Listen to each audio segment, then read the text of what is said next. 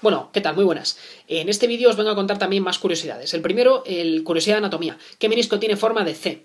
Esto es súper difícil, es el menisco interno. Yo lo que hice fue pintarme en el menisco interno una C y lo llevé pintado una semana, hasta que de las repetidas veces que me fui duchando al final me lo quité. Pero de verdad, menisco interno forma de C. Se lo irá un montón, ¿vale?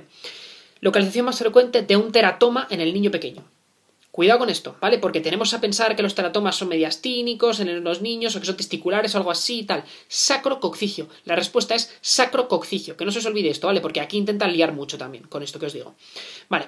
En cuanto a antieméticos, ¿cuál sería el antiemético más potente? Cuidado, no vayamos a marcar los setrones, porque es cierto que el palosetrón intravenoso, vía media enorme de 40 horas, se utiliza muchísimo en oncología y hay un montón de antieméticos.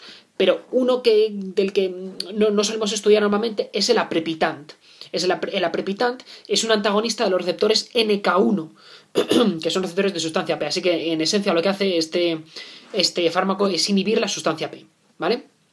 Y bueno, eh, por último os quería dejar con la, curiosidad clave. Sabéis que las estatinas, sabéis que hace poco que dan diabetes, son diabetógenas. Y esto es un efecto secundario que a mí, por ejemplo, ni siquiera me dieron en la carrera, porque era algo que estaba muy en controversia. Hay una estatina que no se relaciona con diabetes. ¿Sabéis cómo se llama? La pitavastatina, ¿vale? Pitavastatina, cuidado con ello.